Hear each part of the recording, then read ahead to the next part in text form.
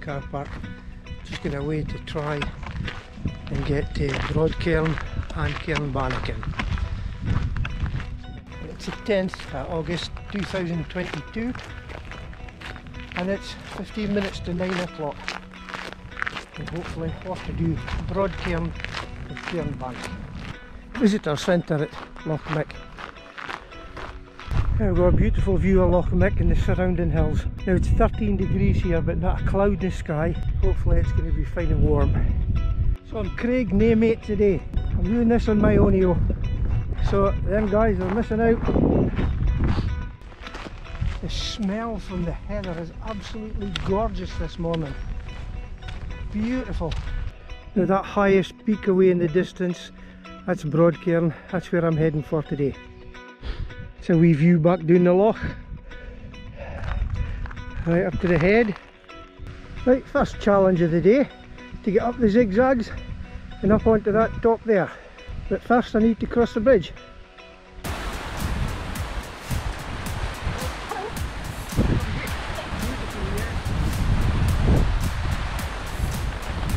Right, here we go, the zigzags. Change of a tyre as it's getting kind of kind of warm. Just stopped for a breather because my lungs didn't work as well as they used to. Mind you, there's my legs, or my knees, or my heart for that matter. Not quite at the top of the zigzag yet, I'm just about there, hard work's done. That's me at the top of the zigzags now, and that's Broadcairn you can see in the background. Where I'm headed. That is Meikle Pap and Lochnagar in the background. And if you look down there, you can just see a wee bit Glas-allt-Shiel. This is a lovely wee ridge. Now that's a shot of the paths that take you back down to Loch Muick. And hopefully that's where I'll be coming back down. It's at the Corrie Chash summit.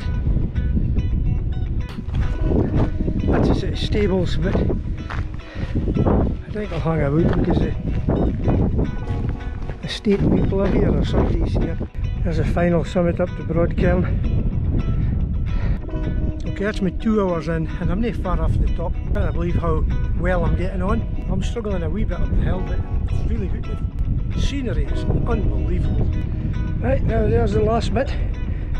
Stony surface. It's like this all the way to the summit. Just a boulder field up to the top. It's me on the summit. Broadcairn. Just give you a wee looky around about. Quarter to 12. I've just got a lovely walk over to Cairn Bannoch over there. That's just a sort of peaky one over there. What an awesome day. Views are absolutely stunning.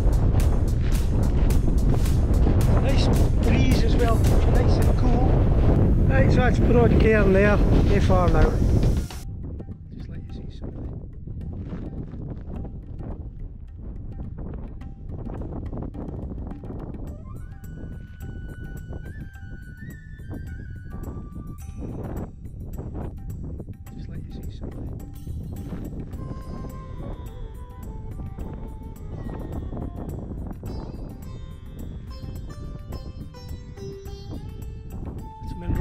Something.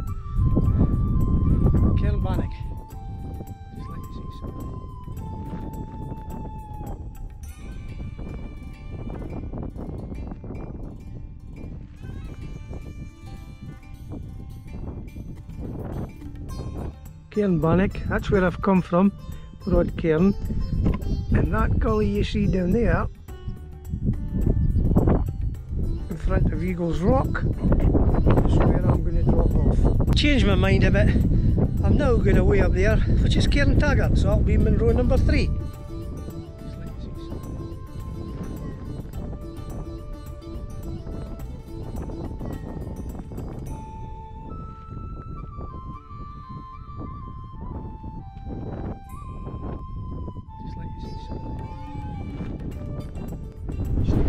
Stunning views. The Cairngorms. Anyway, I'm going way down into the Dubh Loch now.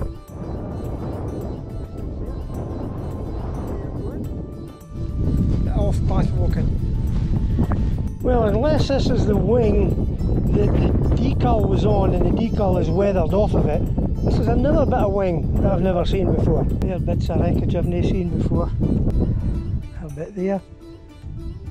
And then this over here. Like a bit of the wing. Just look at that view. That's where I'm heading. That's a Dubh Loch and that's a Cloudberry.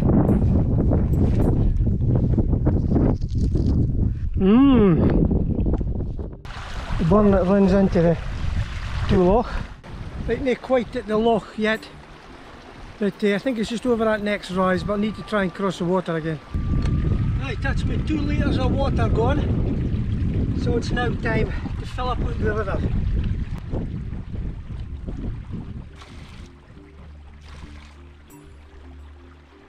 That's another litre and a half. Hope I catch anything. Finally the loch. That took a bit more effort and a bit more time to come down off a Cairn Taggart. But there's a loch. So we're looking for a path on the left hand side.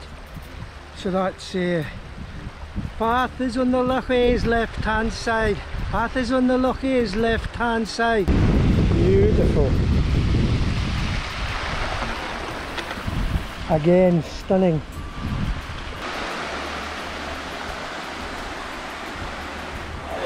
Absolutely stunning views.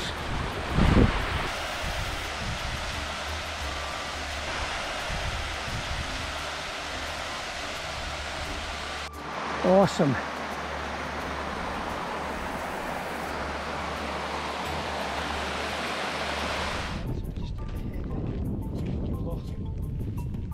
the end of the. That's where I started my walk, just right up this ridge here. I'm just a bit down at Loch Muick. And there it goes, Loch Muick. River to cross. Oh, right, so that's my back to the Glas-allt-Shiel just a bit, you can see it's a nice ripple in the water so it's giving me a cool breeze. Just a wee bit through the woods, see if we get somewhere to stop to get something to eat. A wee stop at Glas-allt-Shiel for something to eat. Stick my head in the water, with more time I'll take my boots off.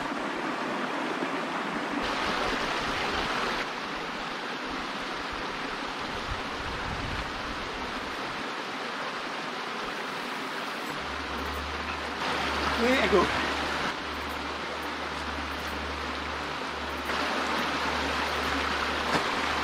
The long road back to the car park. Can't even see the lock now. A wee, hopefully a wee walk along the loch. There's a wee boat there in the in the lock. I guess there must be fishing. Boathouse. There's a zigzag path that we went up at the start of the walk.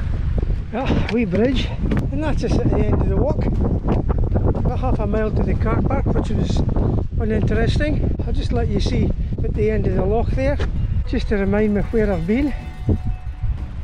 And believe this or not, you just can't take this home in a camera.